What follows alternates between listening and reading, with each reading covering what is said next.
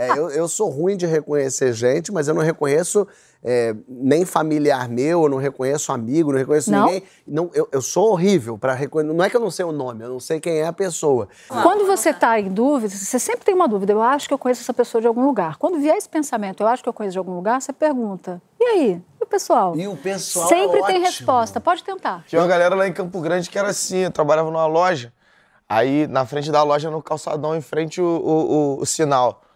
Aí, né, o cara ficava parado, né, esperava alguém chegar assim, qualquer pedestre que tava vindo, aí ele, fala moleque, tranquilo? aí, eu- aí o cara olhava assim, e aí, tranquilo, pá? Aí ele, pô, saí de lá, pô. Saí... aí, fala, aí saiu de lá?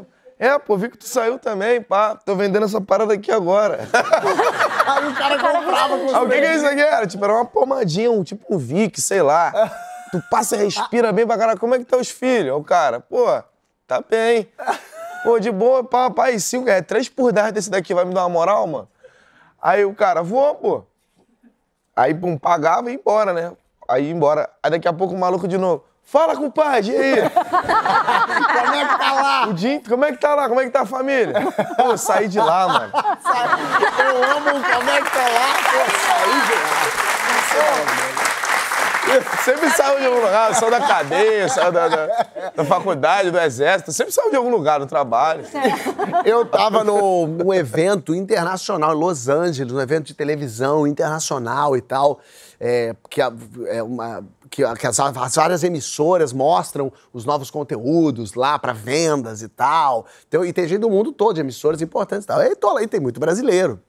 E aí tô eu lá, nesse cafezão da manhã que dão na CBS, um negócio meio assim. E aí tô eu, daqui a pouco vem um senhor.